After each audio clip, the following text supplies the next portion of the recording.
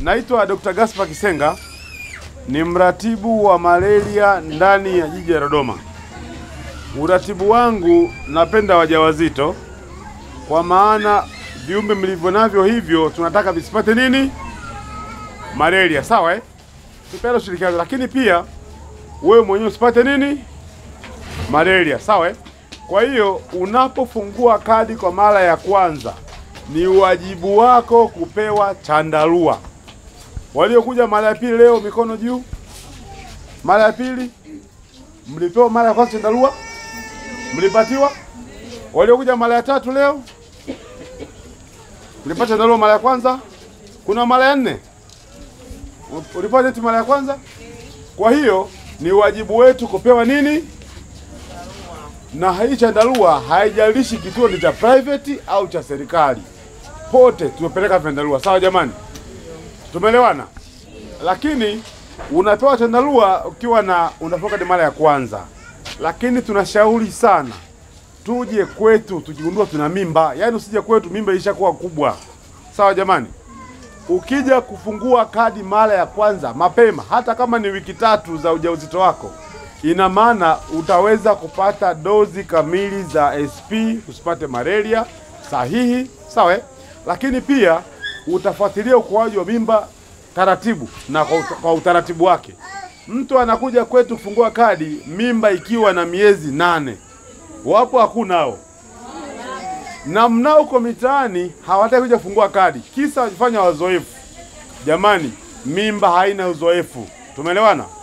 Mimba haina Wangapi tunasikia wamezaa watu watatu eh, sorry, wamejifungua watu wawili watatu wanne, mtoto watano inamshinda. Ni wangapi?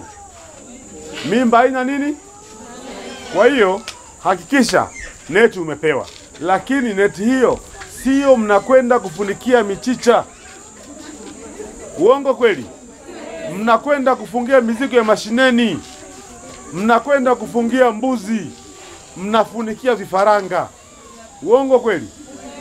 Mnapotumia vyandarua kinyume na utaratibu, sijui kama vimekuwa vingi, sijui kama nimeamua kuvichezea, lakini vyandarua mmepewa, mtumie ninyi na watoto na familia zenu. Sawa jamani?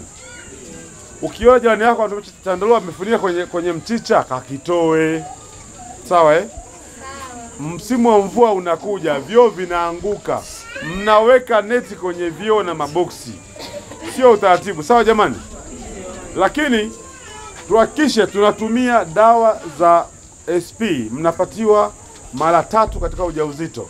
Hakikisha dawa zile umemeza ili usipate malaria, kwa sababu ukipata malaria unaweza haribu mimba, sawa eh? Damu itapungua.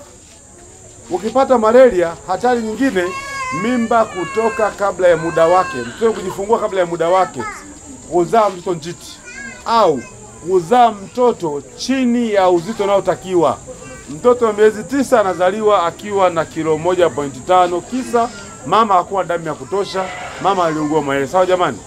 Lakini pia tunapatiwa vidonge vya Fefor, mnavyo nyumbani, mnatumia. Hakikisha vidonge vile mnatumia kila siku, kila siku mpaka kujifungua, kwa sababu itakusaidia kuwa damu ya kutosha, ila tusiache kula mboga mboga matunda kwenye familia zetu. Kama nyumbani bajeti ya mboga ipo kidogo, basi mwambie baba, we usile hii mboga, nitakula mimi na mtoto. Tumeelewana? Lakini watu wamepanda maua majumbani mwao mengi, alafu sio michicha. Hamoni hii ni shida? Mtu ana maua kwenye makopo ya kutosha, hana mboga za majani. Jamani, hii ni sawa? Jamani, hata kwenye kopo panda spinachi yako Chinese itastawi. Mwisho wa siku unamwagilia miti kwa maji mengi, mboga unanunua kwa mwenzako, hata kama ni kuungishana. tulio mboga wenyewe. Sawa jamani?